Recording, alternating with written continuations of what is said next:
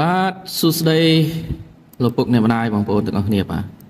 ចឹងថ្ងៃនេះគឺខ្ញុំបាទមកផ្ដិតយុរភាពបាទផ្លូវមួយខ្សែនេះបងប្អូនណាបាទយើងចេញពីខាង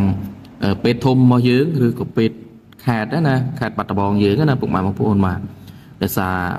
ផ្លូវមួយខ្សែនេះគឺផ្លូវភូមិវត្តលៀបណាពុកម៉ែបងប្អូនបាទហើយផ្លូវមួយខ្សែនេះគឺវាគោជួរហើយពុកម៉ែបងប្អូនបាទចឹងឥឡូវនេះគឺឃើញថាបានអ៊ុតជាស្ថាពរហើយអឺ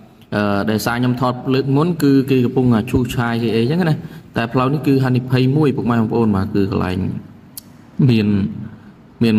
មានលូពុកម៉ែបងប្អូនបាទមានអាក្បាលគម្របលូហ្នឹងបាទគឺវារឿងនៅខ្ពស់ខ្ពស់ពុកម៉ែបងប្អូនហើយចឹងមិនសិនតែនេះជិះម៉ូតូពេលយប់អីរៀងលឿនអីហើយណាមួយមិនដែរជិះអីជិះផ្លូវហ្នឹងអីហានិភ័យច្រើនមែនទែនពុកម៉ែបងប្អូនបាទហើយផ្លូវនេះគឺចាក់បានដូចជាទៅដល់ត្រឹមមុខវត្តលៀបហ្នឹងទេពុកម៉ែបងប្អូនណាបាទ ហើយចាប់ពីមុខវត្តលៀបទៅខាងកើតដល់ទៀតហ្នឹងក្របមកស្ទឹងទៀតគឺអត់ទាន់អត់ទាន់បានធ្វើទេពុកម៉ែបងប្អូនបាទហ្នឹងហើយពុកម៉ែបងប្អូនបាទឥឡូវមិនមានអីទេវីដេអូមានតែប៉ុណ្ណឹងនៅក្នុងការអធិប្បាយចឹងសូមពុកម៉ែបងប្អូនបាទរីករាយទស្សនាជាមួយនឹងទស្សនវិជ្ជាទាំងស្រុងបាទ